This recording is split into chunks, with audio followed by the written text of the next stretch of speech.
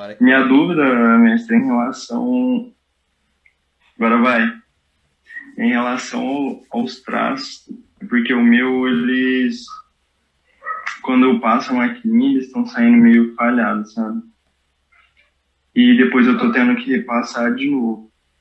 Eu ainda já tô pegando prática para deixar eles consistentes, não deixar eles tremidos.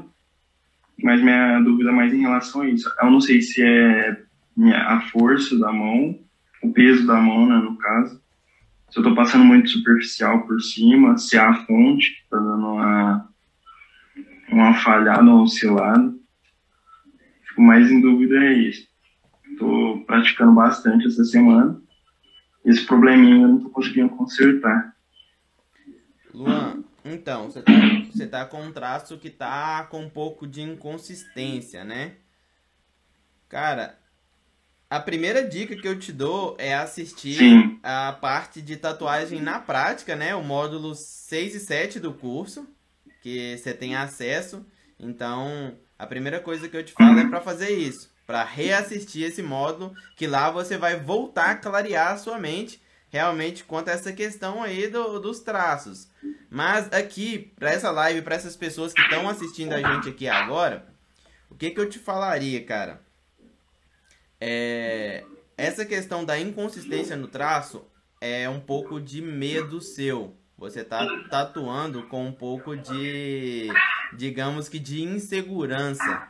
Então, o que, que você vai fazer, cara?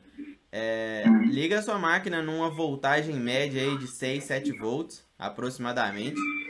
E aí você vai fazer uma linha e firma a mão mesmo. Porque esse traço ele só não tá ficando firme porque você não tá firmando a sua mão. Você tá tatuando com medo. Então por isso você tá tendo que passar mais de uma vez.